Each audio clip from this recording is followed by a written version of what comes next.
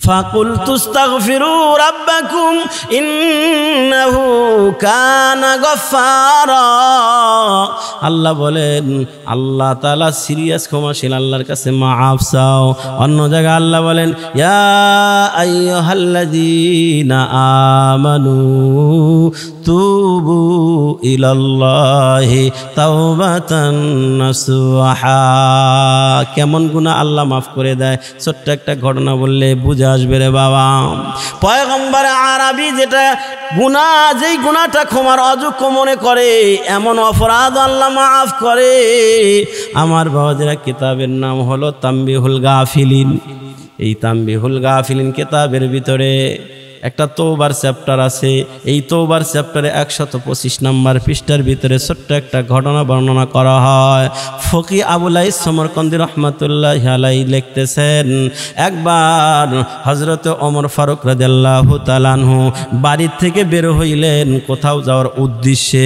কিছু দূর যাওয়ার পর রাস্তার মোড়ে দেখে একজন যুবক এমন করুণ ভঙ্গিমায় কান্না করতেছেন, যেই করুণ ভঙ্গিমার কান্না দেখে হজরত হজরতে ওমর ফারুক রাজাল্লাহ চোখ বেবে পানি পড়া শুরু হয়ে গেছি। অনেক সময় কান্না না আসলে যেই বাড়িতে মানুষ মারা যায়, সেই বাড়িতে যায় দেখেন। ওনাদের অবস্থা দেখে চোখ বেবে এমনি এমনি পানি বেরা হয়। অম হজরতে অমর আদাল্লাহ তালানহুর চোখ বেবে পানি পড়া শুরু হয়ে গেছে।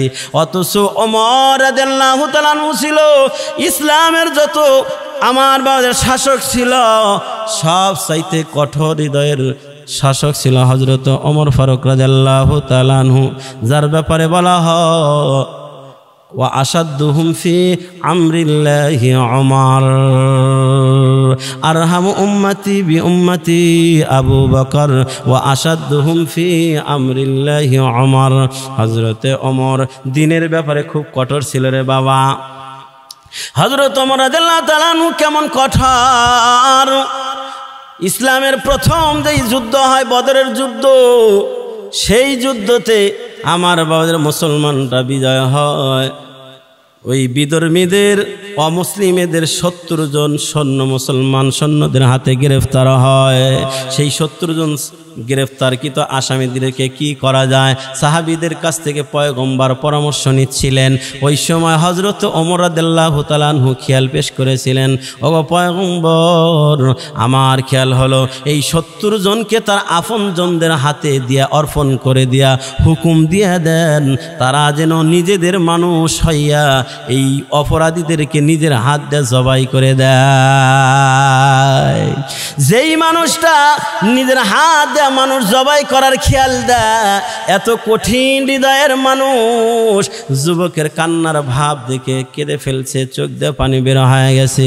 হজরত অমরাদাল্লাহ তালানহু যুবকের একদম কাছে গিয়ে জিজ্ঞেস করে, মা, তুব কি কেয়া সাপ ও যুবক, কেন কান্দ? কি হয়েছে তোমার? যুবক কথা বলতে পারে না, ফোফায় ফোফায় কান্না করতেছে। এক পর্যায়ে আস্তে আস্তে করে যুবক অমরাদাল্লাহ তালানহুকে বললেন, অ অমর আমি এমন গুণাগার এমন অপরাধে অপরাধী। আমার মন বলে আমার চাইতে বড় গুণাগার আল্লাহর আসমানের নিচে জমিনের উপরে আর একটাও নাই। এজন্য আমি কান্না করি। হজরত অমর আদাল্লাহ তালানু তাকে সান্ত্বনা দিতে চাইলেন। কোরআনের আয়াত পরে শোলাই শোনাইলেন কুলিয়া ইবাদিয়াল্লাযীনা আসরাফু আলা আনফুসিহিম লা তাকনাতু মির রাহমাতিল্লাহ ইন্নাল্লাহা ইয়াগফিরুয যুনুবা জামিআ ইন্নাহু হুয়াল গফুরুর রহিম আল্লাহু আকবার বলেন হজরত মরাদাল্লাহ তালানু তাকে সান্ত্বনা দিতে চাইলেন, কিন্তু যুবকটা সান্ত্বনা নেয় না।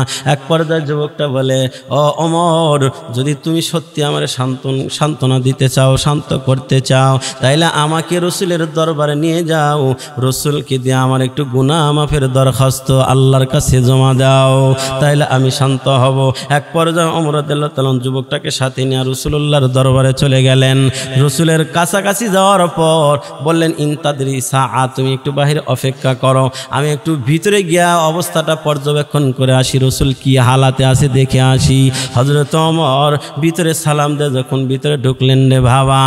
রসুল সালামের জবাব দেয় হজরত ওমরের চেহারার দিকে তাকায় দেখি হজরত ওমরের চোখ বেবে টা, পানি টপ টপ করে পড়তেছিল। রসুল জিজ্ঞেস করে, মা, তুমি কি কাইয়া অমার অমর রে, তোমারে কোন জিনিসে কাদায়? অমর আদাল্লাহু তালানহু বলেন, ওগো পয়গম্বর, আমি একজন যুবককে সাথে নিয়ে আসছি, বাহিরে দাঁড়ানো আছে, অপেক্ষায় আছি। তার কান্নার ভঙ্গিমা দেখি হুজুর আমার চোখ বেয়ে পানি পড়তেছে। সে আপনার কাছে আসতে চায় গুনা মাফের দরখাস্ত করাইতে চায়। কয়, নিয়ে আসো। তাকে যখন ভিতরে আনা হলো, পয়গম্বর জিজ্ঞেস করে, যুবক, যুবকের কান্নার ভঙ্গিমা দেখে পয়গম্বর বলে, তুমি না জানি কত বড় গুণা করেছ। ওরে যুবক, তোমার গুণা কি আল্লাহ পাকের সৃষ্টিগুলের চাইতে বড় হবে নাকি? যুবক জবাব দেয়, পয়গম্বর, আমার মন বলে আমার গুণা আল্লাহ পাকের সৃষ্টিগুলের চাইতেও বড় হবে। আল্লাহ পাকের রসুল বলেন, ও যুবক, তোমার গুণাটা কি আল্লাহ পাকের আর আজমের চাইতে বড় হবে নাকি? যুবক বলে, আমার মন বলে আমার গুণাটা আর আজমের চাইতেও বড় হবে। আল্লাহ রসুল বলে, ও যুবক, তোমার গুণাটা কি আল্লাহ পাকের রহমতের দরিয়ার চাইতে বড় হবে নাকি? যুবক জবাব দেয় পয়গম্বর, আমার মন বলে, আমি যেই অপরাধে অপরাধী, আমার গুণাটা আল্লাহ পাকের রহমতের দরিয়ার চাইতেও বড় হবে। পয়গম্বর তখন বলে, হাল আশরাক্তা বিল্লাহ। ও আল্লাহর বান্দা, তাইলে কি তুমি আল্লাহর সাথে সেরেকের মতো জঘন্য অন্যায় করছ নাকি? আল্লাহর সাথে সেরেকের গুণা করছ নাকি? কারণ পয়গম্বর বলেন, আল কাবাইর আল ইশরাকু বিল্লাহ, হুকুকুল ওয়ালিদাইন ওয়া কতলুন নাফস ওয়া শাহাদাতুজ জুর বড় বড় গুনার মধ্যে সবচাইতে বড় গুনাহ হলো আল্লাহর সাথে অংশীদার স্থাপন করা। এজন্য রসুল জিজ্ঞেস করে, তুমি কি সেরেকের গুণা করেছ নাকি? যুবক বলে, না, আমি সেরেকের মতো গুণা করি নাই। পয়গম্বর তৎক্ষণাৎ জিজ্ঞেস করে, হাল কতাল তানাফসা তাইলে কি তুমি অন্যায়ভাবে মানুষ হত্যা করছ নাকি? আমার বাবা তাইলে এবার একটা দিন এখান থেকে বুঝিন, মানুষ হত্যা করা কত বড় গুণা যুবক বলছে, আমার মন বলে আমার গুণাটা সৃষ্টিকুলের চাইতে বড় বড়। আল্লাহ রহমতের দরিয়ার চাইতে বড়। তারপরে রসুল জিজ্ঞাসা করলেন, তাইলে কি তুমি সেরেক করেছ? কয়, না। তাইলে কি তুমি মানুষ হত্যা করেছ? তাইলে মানুষ হত্যা করা কত বড় অপরাধ, কত বড় গুণা। এই গুনার কথা যদি আমাদের দেমাগে থাকতো, আমাদের দিলের ভিতরে যদি থাকতো যে মানুষ হত্যা করা এত বড় গুণা, এত বড় জঘন্য অন্যায়, তাহলে ওই পাগারে, পুকুরে কুসরি পানার নিচে, এরপরে ব্রিজের নিচে মানুষের লাশ পাওয়া যাইত না, ঠিক কিনা বলেন? এরে নবীর উম্মতের দল, যুবক বলে, না, আমি মানুষ হত্যা করি নাই। এবার পয়গম্বার বলে, তাহলে তোমার গুনার বর্ণনাটা তুমি দাও। যেহেতু তুমি সেরেক করো নাই, মানুষ হত্যা করো নাই, তাইলে এবার তোমার গুনার বর্ণনাটা দাও। তুমি কি গুণা করেছ? যেই গুনার কারণে এত কান্না করতেছো। এবার যুবক তার গুনার বর্ণনাটা দিতে গিয়া যেন বুক ফাটা কান্না ভেঙে পড়লেন। যুবক কথা বলতে পারতেছে না। পয়গম্বর বললেন, একটু শক্ত হও। তোমার গুনার বর্ণনাটা আমারে শোনাও। এবার ওই যুবক সাহাবি পয়গম্বরের সামনে তার গুনার বর্ণনা দেয়। কয়, পয়গম্বর, আমি একজন পেশায় হইলাম কাফনের কাপড় সর কিশোর কাফনের কাপড় চুরি করা হলো আমার পেশা। সেই কাফন মানুষকে যখন মাটি দেওয়া হয়, রাতের বেলা গিয়ে আমি কবরস্থানে গিয়ে কবর খনন করে ওই লাশ থেকে কাফনের কাপড়গুলো নিয়ে সুন্দর করে ধুয়ে ইস্তারি করে, ওটা আমি বাজারে আবার বিক্রি করে দেওয়া। এটা হলো আমার কাজ। পয়গম্বর বলে, তারপরে কি হলো বলো? এবার ওই যুবক বলে, এই তো মাত্র চার পাঁচ দিন পূর্বে আমার কানে আসলো। মদিনার একজন সুশ্রী সুন্দর আনসারি মহিলা মারা গেছি। আমার কানে যখন আসছি, তখন ওই আনসারি মহিলাকে যখন কবরস্থানে দাফন করছে মদিনার কবরস্থানে। আমার পেশা অনুযায়ী রাতের বেলা আমি চলে গেলাম কবরস্থানে। গিয়া নতুন কবরটা খনন করলাম। খনন করার পর ওই সুশ্রী সুন্দরী মহিলার দেহ থেকে পাঁচটা কাফনের কাপড় খুলে আমি কাফনের কাপড়গুলা নিয়া কবর থেকে লাভ দিয়ে উঠে কাফনের কাপড় নিয়ে রওনা দিলাম। ঠিক এমন টাইমে আমার দেলের ভিতরে শয়তানে পড়াশোনা দিচ্ছে। নফসে আম্মারা আমাকে ধোকা দিচ্ছে। শয়তানে আমাকে পড়াশোনা দেওয়া বলে, এর যুবক জীবন ভর তো শুধু কাপনের কাপড় চুরি করলি। আজকে যেই মেয়েটার দেহ থেকে কাপনের কাপড় খুলে নিলি, এই মেয়েটার চেহারা কি একটা বার তাকায় দেখছ? কত সুন্দর। কয়, আমার দিলের ভিতরে যখন এটা শয়তানে প্ররোচনা দিছে আমি আবার ব্যাগে আসলাম। ব্যাগে এসে টস মেরে তাকা দেখি এত সুন্দর। আমার জীবনে এত সুন্দর মেয়ে দেখি নাই। চেহারাটা দেখার পর আমার দিলের ভিতরে ক্রমন্তনা দিতেছে। শয়তানে পড়াশোনা দেয় মকন নফসা আম্মারা পাইরবি কেনাগা গ্রেফতার দোজক মানুষের নফস আছে তিনটা নফসে আম্মারা লফসে লাউয়ামা লফসে মুতমা ইন্না লফসে আম্মারা শুধু খারাপ কাজের দিকে আহ্বান করে। লফসে লাউয়ামা, এটা হলো মাঝামাঝি থাকে। লফসে মুতমা ইন্না শুধু ভালো কাজ করার আগ্রহ দিলের ভিতরে পয়দা করে। দেয়। আর লফসে লাউয়ামা যেই দিকে জোর বেশি, ওই দিকে যায় যোগ দেয়। অর্থাৎ জাতীয় পার্টি। অর্থাৎ কি? নাঙ্গল মার্কা, জাতীয় পার্টি। যেই মোরা জোর, ওই মোরাই যোগ দিবে। লফসে লাউয়ামা হলে এমন। লফসে আমারা শুধু খারাপ কাজের দিকে ডাকে। লফসে মুতমা ইন্না শুধু ভালো কাজের দিকে ডাকে, আর লফসে লাউয়ামা হলো মাঝামাঝি দেখে, যদি নফসে আম্মারার জোর বেশি সেই দিকেই যোগ দেয়, যদি দেখে লফসে মুতমা ইন্নার জোর বেশি তাহলে ওই দিকেই জোর দেয়। যেমন এখন আপনারা মসজিদে আসছেন, এখন কিন্তু খারাপ কাজ করার চাহিদা দিলের ভিতরে নাই, শুধু ভালো কাজ করা। ঠিক কিনা বলেন? ঠিক, এখন যেমন ভালো কাজ করার চাহিদা এটা হলো নফসে মুতমা ইন্না এর সাথে এখন যোগ হয়েছে লাউয়ামা আবার যখন চাষটলে যাবেন, চিন্তা করছেন একটু চা পান করেই চলে যাব। দেখলেন টিভিতে সুন্দর সিনেমা দিছে। আপনার প্রিয় নায়কের সিনেমা। এখন নফসে আম্মারা কয়, খালি চা খায় গেলেই কেউ হবে না, একটু দেখ। এবার যখন লফসে আম্মারা জোর দিছে দেখার জন্য, ওর সাথে লাউয়ামা এসে যোগ দিছে। এর নাম হলো জাতীয় পার্টি। আমার বাবাজিরা, তো লফসে আম্মারা আমার দেলের ভিতরে ধোকা দিচ্ছে, শয়তানে পড়াশোনা দিচ্ছে। এত সুন্দর চেহারার অধিকারী একটা মেয়ে। এর সাথে যদি তোর মনের খায়সাত পূরণ করস, মেয়েটাও বাধা দিতে পারবে না, কেউ দেখবেও না।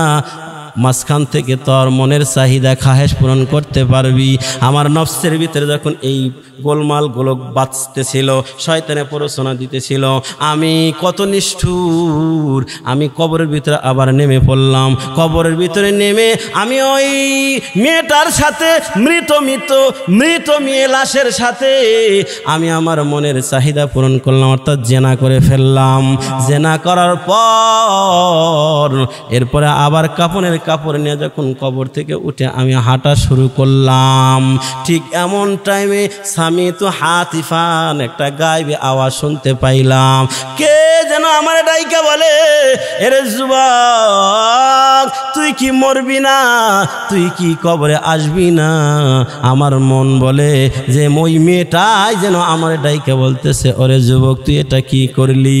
এই তামাম কবরস্থানের সমস্ত মাইয়েদের সামনে আমার উলঙ্গ করে আবার নাফাক করে গেলি। হাসরের ময়দানে নাফাক অবস্থায় ওঠার ব্যবস্থা করলি রে যুবক। তুই কি মরবি না? কবরে আসবি না। কথাটা শোনার পরে আপনারা হয়তো ভাববেন, এই গুণাও কি মানুষ করতে পারে? এ ভাই, এই জামানারই কথা কত? পেপার পত্রিকা দেখেছেন, এরপরে ফেসবুকে দেখেছেন। আমার বাবাজিরা ডুমুর ডুমুর তো চেনেন আপনারা, লাশ কাটে যারা। এই বর্তমানেও এই জামানাতেও আমার বাবা যে দেখেন, এই জামানা আর সেই বর্বরতার জামানা মিল কত? এই জামানাও ডুবুর যারা লাশ কাটে, তারাও মেয়ে লাশের সাথে জেমা করছে, ধরা পড়ছিল।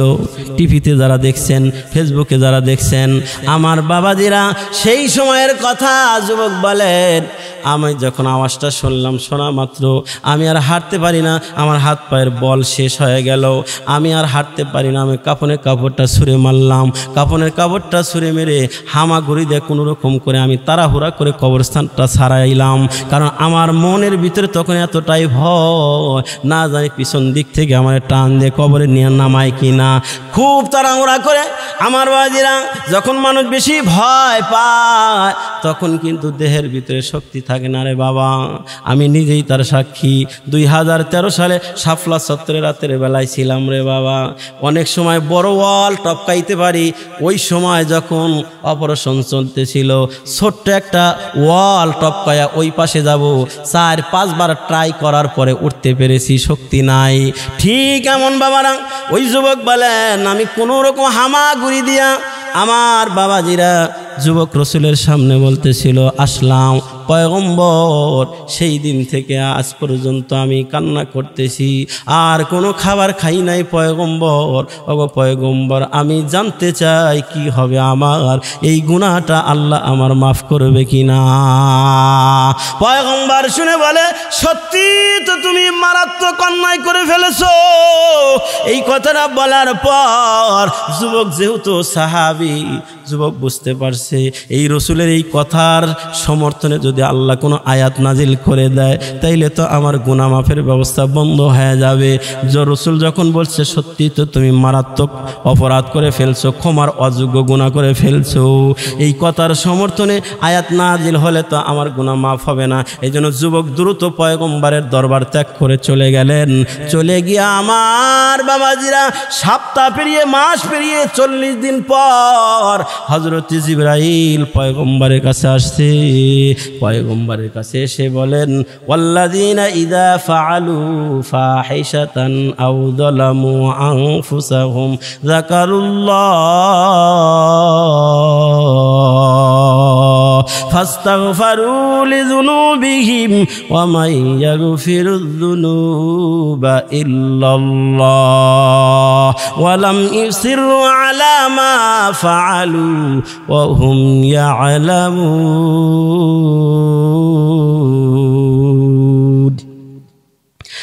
চল্লিশ দিন পরে হজরত জিব্রাইল এসে পয়গম্বরকে বলেন অগ পয়গম্বর, আল্লাহ পাক আপনাকে তিনটা প্রশ্ন করার জন্য আমাকে পাঠাইছে।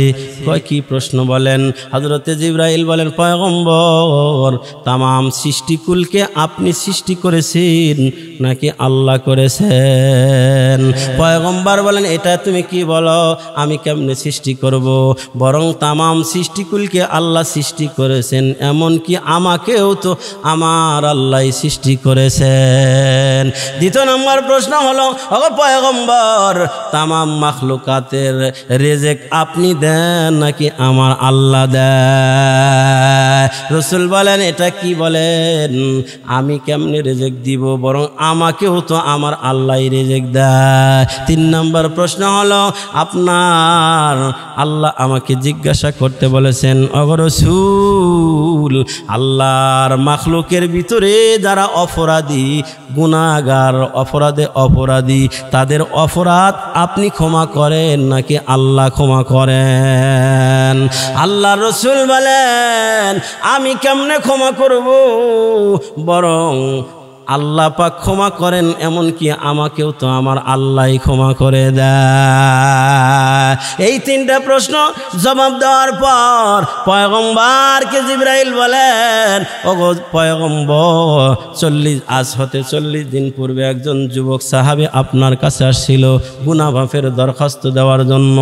আপনি কি সেই যুবকের খবর রাখছেন? কোথায় আছে? কীভাবে আছে? পয়গম্বর বলেন, না না, আমি তো তার আর খোঁজ খবর রাখি নাই। কোথায় কীভাবে আছে আমি তো আর জানি না। আমার দরবার থেকে যাওয়ার পর থেকে তো আমি তো খোঁজ খবর নেই নাই। হজরতে জিব্রাইল বলেন, ওই যুবক, যখন আপনি বলেছেন, সত্যি তো বড় মারাত্মক অপরাধ করেছ। যুবক যেহেতু সাহাবি বুঝতে পারছে, এই কথার সমর্থনে আয়াত নাজিল হলে গুনা মাফের রাস্তা বন্ধ হয়ে যাবে। এজন্য দ্রুত আপনার দরবার ত্যাগ করে চলে গেছে। যাওয়ার পর ওই যুবকটা একদম একটা পাহাড়ের একদম চূড়াতে উঠছে, একদম মাথায় একদম পাহাড়ের চূড়াতে উঠে এই চল্লিশ দিন পর্যন্ত সেজদা দিয়া আল্লাহর দরবারে রোনাজারি করতেছে। কান্না করতে করতে চোখের পানি শেষ, চোখের পানি শেষ হইয়া রক্ত পড়তেছে, পুষ পড়তেছে। অগপয়গম্বর আল্লাহকে বলেন, আল্লাহ, আমার সাধ্য অনুযায়ী যতটুকু আমার ক্ষমতা আছে তোমার দিকে আগায় আসছি। এর চাইতে উপরে ওঠার ক্ষমতা আমার নাই। তুমি যদি আমার ক্ষমা না করু, তাইলে আমার আর ক্ষমার ব্যবস্থা নাই। এই চল্লিশ দিনের কান্নার বদলাতে আল্লাহ কবুল করেছেন। আল্লাহ তার গুণা মাফ করেছেন। আপনি সাহাবিদেরকে পাঠায় দেন, সুসংবাদ জানায় দেন। আল্লাহ পাক ওই যুবকের গুণাটাও মাফ করে দিছি। والذين إذا فعلوا فاحشة أو ظلموا أنفسهم ذكروا الله.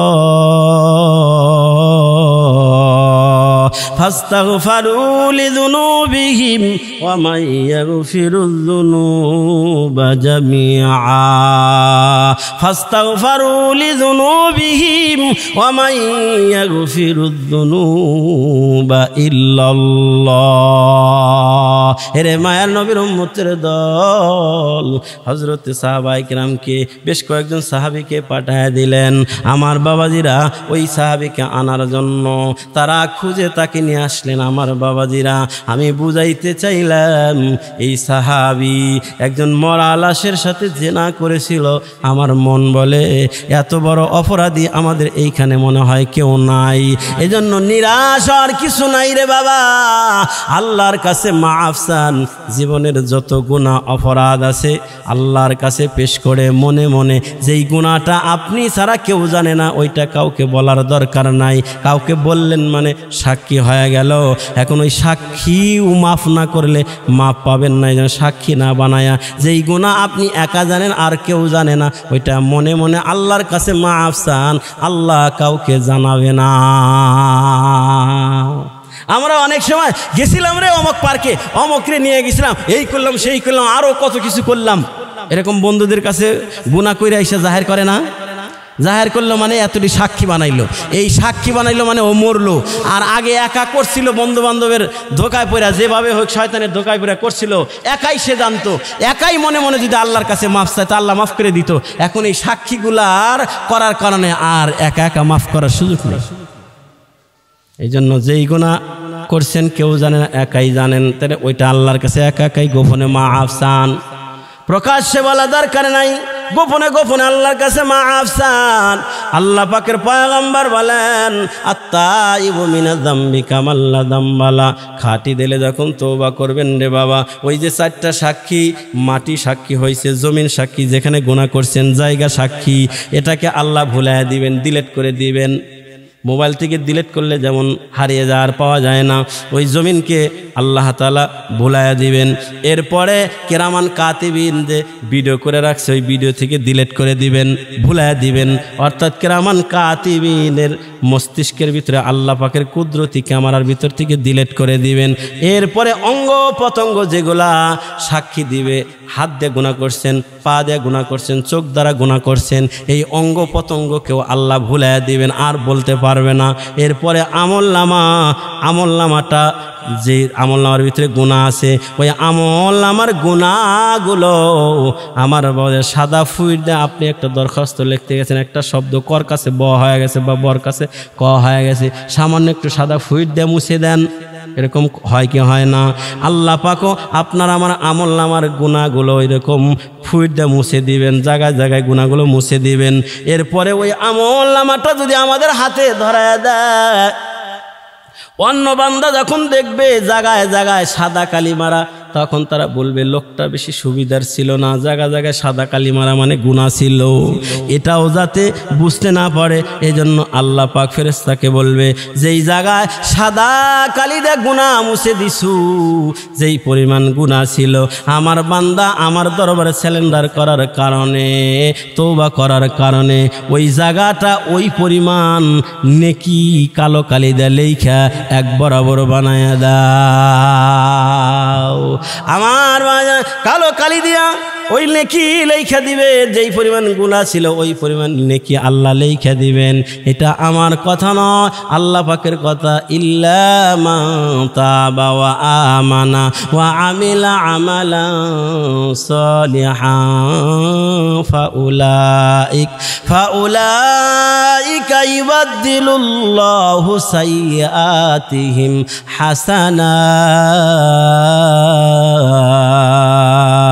সালাত ওয়াকান আল্লাহ গফুর আল্লাহ বলে দিছেন, বাদ্দালা ইবাদ্দিল মানে পরিবর্তন করা। ফাউলাইকা ইবাদ্দিলুল্লাহু সাইয়াতিহিম হাসানাত। সাইয়াত মানে গুনাহ, হাসানাত মানে নেকি। আল্লাহ বলেন, গুনাহটারে আল্লাহ নেকি দ্বারা পাল্টায় দিবে। আল্লাহ পাক আমাকে, আপনাদের সবাইকে নিজেদের কৃত কর্মের গুণা থেকে খাটি দিলে তৌবা করার তৌফিক দান করুক। সকলে বলি আমিন। আমার বাবাজিরা, নিরাশ না হয়ে আল্লাহর দরবারে ফেরত আসেন। তৌবা মানে ফেরত আসা ফার মানে গুণা মাফ চাওয়া। আল্লাহর কাছে তৌবা করেন, আল্লাহ মাফ করে দিবেন। আল্লাহ মাফ করে দেওয়ার জন্যই সর্বদা রেডি হয়ে আছেন। এই জন্য ক্ষমার মতো ক্ষমা চাইতে হবে। চার শর্ত মেনটেন করে ক্ষমা চাইলে আল্লাহ মাফ করে দেন। এক নাম্বার শর্ত হলো, আপনি যেই অপরাধে অপরাধী এই নিজেকে আসামি মনে করতে হবে। অনুশোচনা আনতে হবে, অনুতপ্ত হতে হবে যে না, এটা আসলে আমার ভুল হয়েছে। এইভাবে আল্লাহর কাছে স্যালেন্ডার হওয়া। দুই নাম্বার, যেই গুণার থেকে আপনি তৌবা করতেছেন, ওইটা ছেড়ে দেওয়া, ওইটা না করা। গুণাও করতেছেন তৌবা করতেছেন, তাহলে তৌবা কবুল হবে না, ওইটা ছেড়ে দেওয়া। তিন নম্বর শর্ত হলো, ওই গুণা আর জীবনের সামনে আর করবেন না, এমন দিলে দিলে প্রতিজ্ঞা করা। চার নাম্বার শর্ত হলো, বান্দার হক যদি মেরে খায়া থাকেন, বান্দার হক যদি নষ্ট করে থাকেন, বান্দার হক বুঝিয়ে দেওয়া। এই চার শর্ত মেনটেন করে আমি আপনি যদি তৌবা করি, তাহলে জীবনের সব গুণা মাফ হবে ইনশা আল্লাহ কারণ আল্লাহ বলছেন, রসুল বলছেন, এনারা তো মিথ্যা কথা বলেন না। ঠিক কিনা বলেন? সুতরাং আমরা এই চার শর্ত মেনটেন করে আল্লাহর দরবে তৌবা করব, আল্লাহর কাছে মাফ চাবো। আল্লাহ তালা যেন খাটি দিলে তৌবা করে গুণামুক্ত হওয়ার তৌফিক দান করেন। সকলে বলে আমিন।